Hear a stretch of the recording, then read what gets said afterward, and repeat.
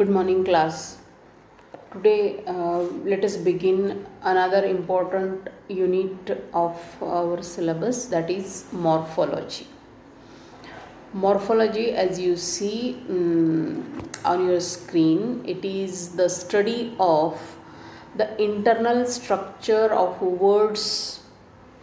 Internal structure of words. Structure. mm, uh, the formation akriti. How the words are formed how the words are made. Um, and that study which is an important part of uh, linguistics as well as it which is an important division of uh, english grammar linguistics as you know is the study the scientific study of language. Morphology comes within um, linguistics as well as grammar and it is the study of the internal structure of words. So far we have been studying the structure of a sentence, the structure of a phrase, the structure of a clause. Now let us come to the smallest unit in the grammar hierarchy. Hierarchy Utrand. Okay. There are words, then there are phrases, clauses, and sentences which are multiple sentences again divided into compound and complex sentences. Now let us come to the structure of the words. Words so far uh, they are there um, at the bottom level when we see this hierarchy. But that is not the end um, level. That is not the last level words can be divided into parts. Okay? And that is the interest of this discipline or this part of study um, that is known as uh, morphology. How the words are formed how the words are made into bigger words. Okay? How the words come together to form more and more words. So that is the morphology and when when i say um, words are not the last unit then what is the what is the smallest unit of uh, morphology or this grammatical study of language? That is known as the morphemes. First there are morphemes then there are words then phrases then clauses and then the sentences so, what is a morpheme? Morphemes are the words that can be uh, um, many words can be subdivided into smaller meaningful uh, units. So, the smallest meaningful unit of grammar is known as that is below the category of words is known as the morpheme. We can define morphemes as the minimal units of words that have a meaning. And another criteria that should be applied to the, to the morphemes is that they cannot be subdivided further. Words can be divided into morphemes. But when we say some some unit is a morpheme the criteria applicable to to that should be it, it should not be divided. It should not be further divided into smaller units or smaller parts. So that is known as the morpheme. As you can see here morphemes uh,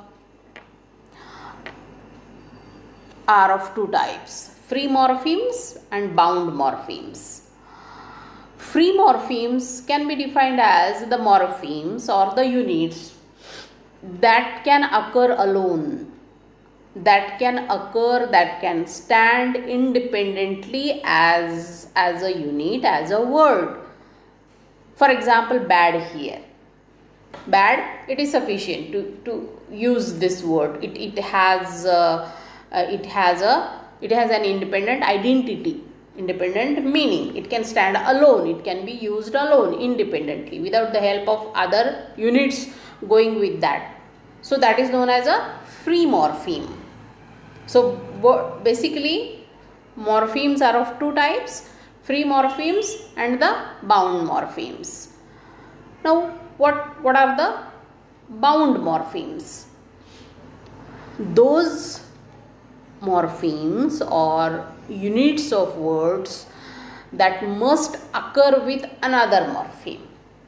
Unless and until they are attached to another morpheme, uh, they cannot signify something or the other. They are known as the bound morphemes.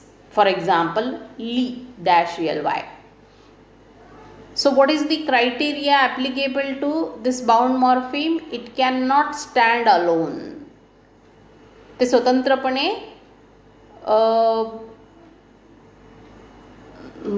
उभे राहू शकत नाहीत किंवा त्यांचा वापर होऊ शकत नाही but they must be attach to another morpheme to produce a word so when we attach this Lee to bad or too serious, then we get a meaningful unit which is a larger one.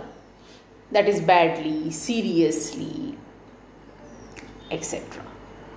So, bad is a free morpheme because it can stand alone, it has a separate identity, and Lee is a bound morpheme जोडलेलं आहे ते. आणि ते जोपर्यंत जोडल्या जात नाही दुसऱ्या मॉर्फिमपर्यंत तोपर्यंत त्याला अर्थ प्राप्त होत नाही. अर्थ जरी असला तरी तो it can stand it cannot stand alone ते स्वतंत्रपणे कार्य करू शकत नाही. So that that kind of a morpheme is known as a bound morpheme so the morphemes which are the bound morphemes are again divided into four categories. They are of four categories which are those these are here. The first one is known as a prefix. What is a prefix? Prefix is the bound morpheme added to the beginning of a morpheme. That is a free morpheme एखाद्या free मॉर्फिमच्या सुरुवातीला जे जोडल्या जाते that is known as a prefix then suffix which is attached to the end of a morpheme is known as a suffix. Infix.